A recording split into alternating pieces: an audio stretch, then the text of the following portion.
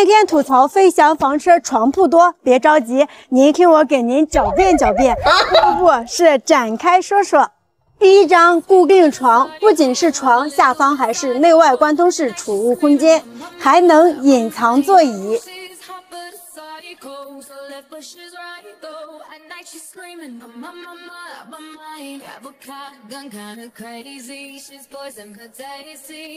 第二张吊柜变床，一人睡卧，承重好，储物能力也很强。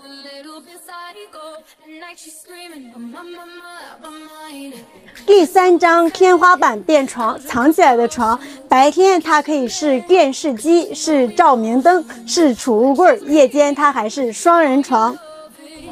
这些床可别嫌多，它们很乖的，不用时不会对我们有任何影响。喜欢的话，我们可以来这里现场体验哦。